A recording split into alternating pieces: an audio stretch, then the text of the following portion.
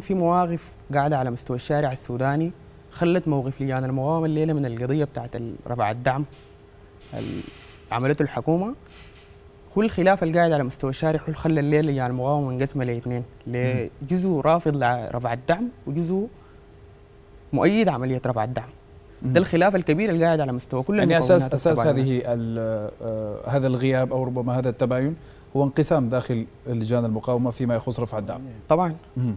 مؤكد ودي أنا بالنسبة لي ال ال ال الاختلاف في مجمل القضايا اللي قاعدة على مستوى الساحة السياسية السودانية. خلى الاختلاف ده أنا بشوفه شيء طبيعي قاعد على مستوى لجان المقاومه إنه يكون في مكون شايف إنه هو مع رفع الدعم.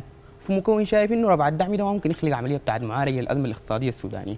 دي اللي كان السبب الرئيسي للأحداث اللي قاعدة على مستوى الشارع السوداني. عشان إحنا نقدر نناقش ال- القضية بشكل بشكل الكبير.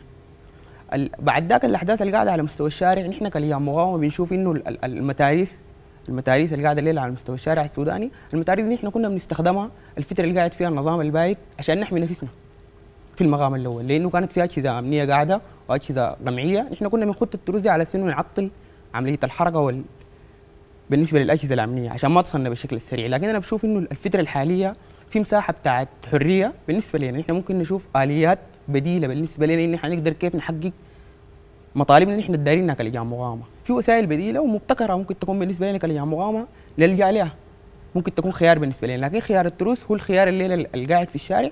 طلعت جزء كبير من لجان المقاومة برات نفسها من الموقف القاعد على مستوى الشارع إنه وصلت لعملية بتاعت نهب. المواطن قاعد يتضرر من العملية دي. يعني إحنا لما طلعنا الثورة ما كنا بي بي عشان نضر المواطن. بقدر ما انه إحنا دايرين نحقق ثورة تحقق نجاحات على للمواطن السوداني.